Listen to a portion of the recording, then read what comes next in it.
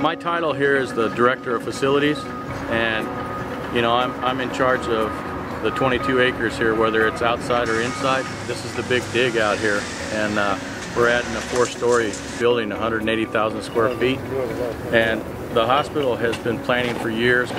We plan on being completed on time with our seismic and it'll take us to 2030. We're, we're currently rerouting uh, as we speak the, uh, the main fire water line and uh, it's approximately 600 feet of reroute pipe that we installed and we're making the final connections to each end now which allows us to complete the excavation.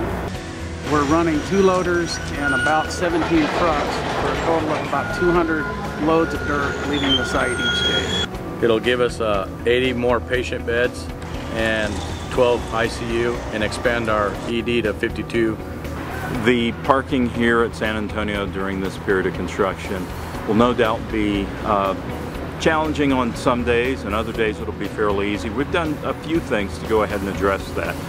This site wiped out about 200, 250 stalls. So we shifted the physicians to open up 60 stalls for the ED only that are, is right by the door. It was very important for us to monitor and move all the staff to the backside to open up all the front side here. One of the things that we've implemented and people will be seeing soon is our valet parking. Uh, we think the valet parking component is going to do a lot. One, to make it more convenient for our patients and visitors to get their loved ones either into the hospital or visit those that they're here to uh, see. It'll also help facilitate uh, more parking on our campus simply because by doing a valet program, we can compress the number of cars that we have in a specific area.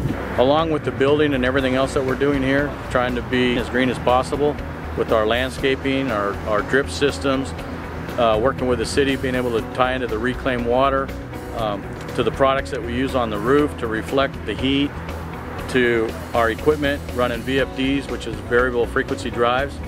We're about 60 to 70% green on the campus with all the entities that we've looked at.